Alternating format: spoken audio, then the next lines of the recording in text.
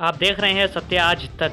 All India मोमिन conference का एक प्रोग्राम आयोजित किए भिवंडी शहर अध्यक्ष शकील पापा जी ने, जिस प्रोग्राम में चार चाँद लगाते हुए इस ऑल इंडिया मोमिन कॉन्फ्रेंस के अध्यक्ष फिरोज अंसारी जी ने, ऑल इंडिया मोमिन कॉन्फ्रेंस को मज़बूत बनाने के लिए मुमताज़ अंसारी जी ने, नगर सेवक मलिक मोमिन जी ने इसमें शामिल होकर इसको और मज़बूत बनाने में लगे हैं। अब अध्यक्ष जी ने सत्य आज तक चैनल से बात करते हुए क्या कहा, देखिए इस खास रिपोर्ट में। ऑर्गेनाइजेशन हंड्रेड ईयर्स पूरा हो रहा है इसका, सौ साल हो चुका।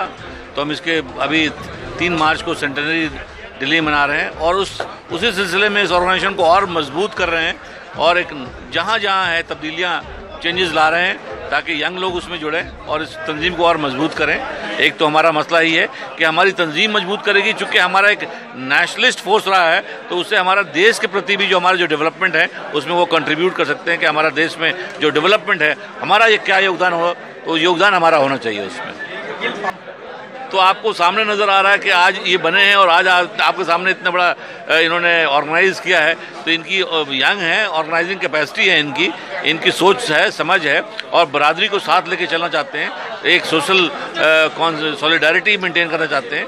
तो इसलिए हम लोगों ने देखा और सुना और हम लोगों ने उस पर अमल किया और और मैंने पाया कि साहब इनमें एबिलिटी है और इन हम दुआ करते हैं कि आगे तक जाएँ। अभी अभी सारे लोगों ने गिनाया कि हमारी बिरादरी के मसले क्या हैं। ओबीसी पावर लूम और जो दूसरे रहनुमाई हमारी पॉलिटिकल तो ये, और एजुकेशन के ताल्लुक से। तो इन सारे मुद्दों पे हमारा ऑर्गेनाइजेशन नया डेवलप हुआ है यहाँ भिवंडी शहर में। नई बॉडी तश्कील दी गई है।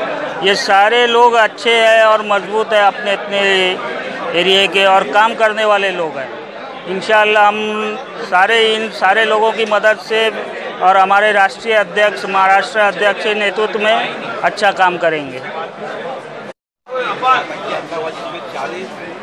ऑल इंडिया मोमिन कॉन्फ्रेंस का बहुत साफ़ नज़रिया है और हमारे लोग जो है आज़ादी से लेके अब तक ये साबित किया है कि इससे बड़ा कोई देशभक्त नहीं हो सकता है। और ये जो आज, वहाँ चौदह को हुआ है, वो बहुत ही हम लोग बिल्कुल कंडेम करते हैं तो कंडेम ही नहीं करते हैं, बल्कि हम लोग मांग करते हैं सरकार से कि सरकार को भी अपनी ताकत का इजहार करना चाहिए और ऐसे लोगों को बेशक सज़ा मिलनी चाहिए जो उन लोगों ने इस तरह काम में अंजाम दिया है और जो लोग देश को कमज़ोर करने में हैं, वो इससे साफ़ ज़ाहिर होता है कि हर एक इंसान उसमें, हर एक देश का जो सिटीज़न है, नागरिक है उससे कमज़ोर होता है, हमें देश को मज़बूत करना है और ऐसे जो लोग, जो कावर्ड लोग हैं, जो इस तरह की हरकत करते हैं, उसको हमें मुँह तोड़ जवाब देनी चाहिए, तभी ये रुक सकता है। वरना हम केवल बातचीत से, जो बार बार सरकार कहती है डिप्लोमेसी से, ये डिप्लोमेसी हम कर रहे हैं और ये रोज़ एक नया हादसा हो रहा है।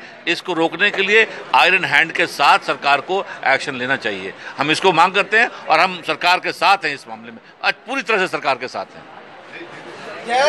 कॉन्फ्रेंस की महाराष्ट्र में।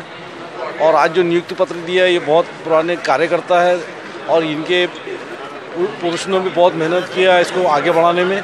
और यही देखकर ये वुमेन कॉन्फ्रेंस को मज़बूत करने के लिए ये आज नियुक्ति पत्र हम लोग